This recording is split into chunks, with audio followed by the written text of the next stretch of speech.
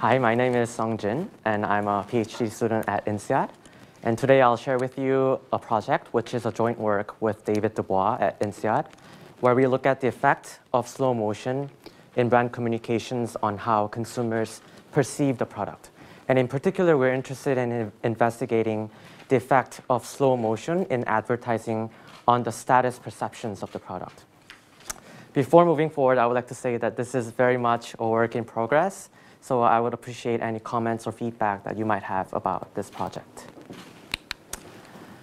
So there's a general consensus in the literature that creating perceptions of luxury is critical in driving purchase decisions in the luxury sector. And as a consequence, previous work has looked at various ways of conveying status to consumers via visual cues. For example, we know that including visual art in product packaging and product design can make the product appear more luxurious.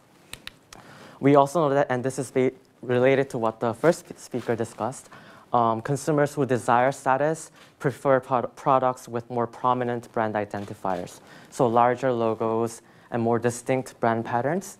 Conversely, for consumers who don't desire status as much, they prefer products with more subtle um, brand identifiers or even no brand identifiers. At the store level, um, recent work has shown that when products are farther apart from one another in product display, um, the store selling those products is seen as more prestigious. And if you were here in the first session, we also know that dark colors can also convey status. Um, so we know quite a bit about the visual cues of luxury. However, we know very little about how motion might also influence consumer perceptions. And this gap in the literature is quite surprising given the rising importance of adver video advertising in today's multimedia environment. For example, a study found out that consumers, on average, are three times more likely to click on online video ads compared to ads in other digital formats, such as mobile. We also know that consumers learn about brands and products by watching these video ads. For example, in a, in a recent study, 64% of participants indicated that watching a marketing video on Facebook um, influenced their purchase decisions in the previous month. Moreover, over 50% of internet users indicated that before they purchase a product or service, they actually visit, uh, before they, sorry, before they visit a store to purchase a product or service, they look up online videos of that product and service. So given these recent trends, there's a clear need to have a better understanding of how the different characteristics of motion might influence consumer perceptions and behavior. So in our research, we try to address um, this gap in the literature by looking at the effect of slow motion on the status perceptions of the product. And the idea behind this research project came about from our observation that luxury brands seem to employ a lot of slow motion in their advertising. And an illustrated example would be Dior's J'adore ad in 2004. And as you can see, we see a woman moving sensually and slowly in liquid gold, as well as the perfume, which is the target product, rising slowly from underneath. So based on this observation, we wondered whether slow motion might influence consumer perceptions. So across a series of studies, we find that using slow motion in advertising increases status perceptions and as a consequence enhances um, consumers' desire for the product. And in this research, we um, measure the desirability of a product by looking at um, how likely consumers are to recommend the product to other consumers. And this is based on past research, which has shown that premium brands generally generate a higher level of online word of mouth compared to non-status brands. So I will present to you a total of four studies. In the first three studies, we tried to establish the main effect by showing that slow motion enhances um, status perceptions and in turn um, consumers' desire for the product. And in our last study, we begin to address the why question by looking at one of the potential mechanisms that might underlie this effect. So in our first study, participants were randomly assigned to either the fast motion condition or the slow motion condition. And consumers were told that they would be watching a video clip of a, of a perfume that was supposedly made by Burberry. And as you can see, the, the video clip in the slow motion condition was three times slower than the video clip in the fast motion condition. after watching the video clip, participants rated the perfume on three items, prestigious, um, luxurious, and high status. And these three items were averaged to form an index of status perceptions. And we use the same measure uh, in all of our studies. So results indicate that as consistent with um, uh, our hypothesis, the perfume in the slow motion condition was seen as of higher status compared to the perfume in the fast motion condition. So this result provides initial evidence in support of our hypothesis that slow motion confers status to a product. Um, and so in our second study, we varied the product. So this time, participants saw a ring that was made by Chanel. So they either saw a quickly moving ring or a slowly moving ring. Um, this time, the ring in the slow motion condition was um, four times slower than the video clip in the fast motion condition. And importantly, um, we repeated the video clip in the fast motion condition to, so that the length of the video clips across the two conditions would be uh, almost identical. So this helps us to rule out any alternative explanations that are based on the different duration of the video clips. After watching the video clips, participants again rated the ring um, on status perceptions using the same items. And we also told participants to imagine that they had. Yes. You used four times slower, and the previous one you used three times slower. Yes. Did you experiment with different speeds to essentially see there's an impact? So we did uh, have a study where we varied the speed, so two times um, slower, three times slower, four times slower. And although the results weren't that cle clean, well, we see a general pattern such that the slower it is, uh, the more high status the product appears. Because I'm worried about the confound mm -hmm. in terms of maybe the fast sort of moving one. Mm -hmm. People say, hey, this is too too much in a hurry, mm. right? I mean, right? So the one I would like is, to, is somebody who's not in a hurry to show, right? Yeah. There's a, probably an association saying they don't have the time to actually so produce it for 30 seconds versus 10 seconds. Right. You see what I'm saying? So right. just, yeah, I don't know. I mean, you might come up with some reasons why one is working better than the other. I'm just looking at the speed itself. Mm -hmm. It's too hurried for me. I mean, yeah. Um, and, and, it might be that Chanel is, doesn't have the money to actually sort of put up a slowly well-produced uh, thing. You see what I'm saying? So it may be that, but I'm, I'm just saying whether it's a confound because of that or there's something else going on. So two things about that. So um, regarding the, so here we match the length of the video clip. So it's not about the, the brand not having enough advertising expenditures to spend on longer ads. So that this rules out that explanation. And, but I, I, we, we, I definitely agree that we should look into whether this effect is driven by fast motion as opposed to slow motion. And so we should definitely run additional studies to have a better idea.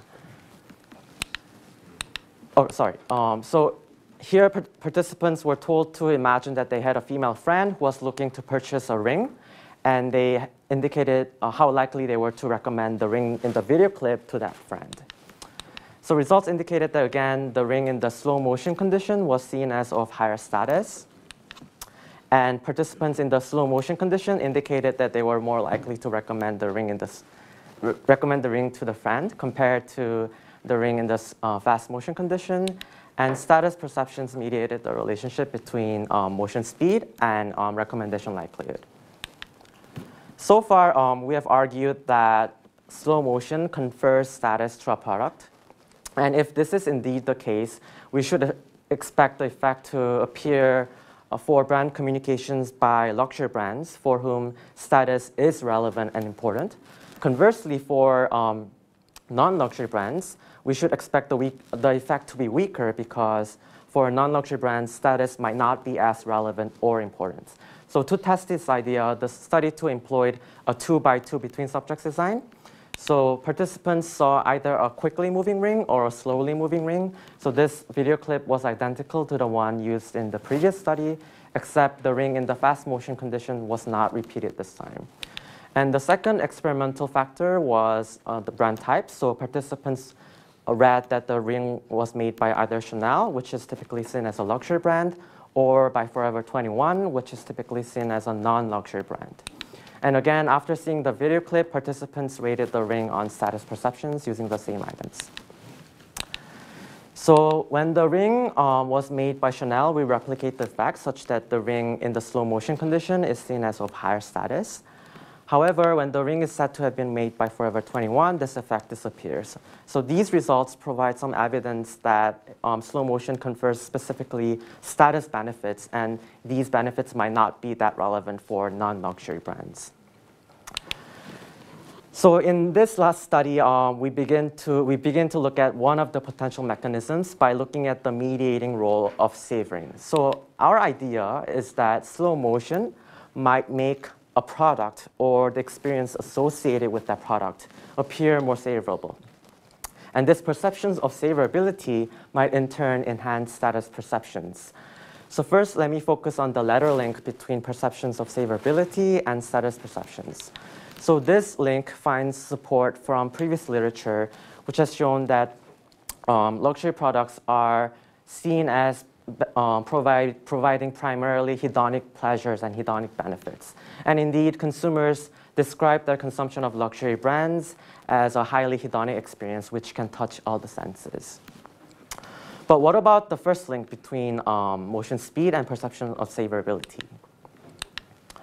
So previous research has shown that when consumers savor an, an, experience, they tend to slow down. And this is because savoring, by definition, uh, involves taking the time to fully appreciate an experience. and in previous research, um, researchers have measured the amount of time taken for consumers to complete an experience as a behavior measure of savoring. So for example, when consumers savor a piece of chocolate, they slow down and take a longer time eating that piece of chocolate. Similarly, when um, consumers savor their experience at the church, they spend longer time at the church. And recent work has also suggested when people savor nostalgic experiences, they, their processing speed slows down and they tend to prolong the time they reminisce about those nostalgic experiences. So in our research, we test whether the reverse relationship might hold true at the perceptual level, such that presenting products in slow motion might trigger this impression that the product or the, or the experience associated with that product is more savorable. And this perception of savorability, in turn, might enhance status perceptions. So to test this idea, um, in our last study, we again randomly assigned participants to either the fast motion condition or the slow motion condition. And they rated the perfume on status perceptions using the same measures.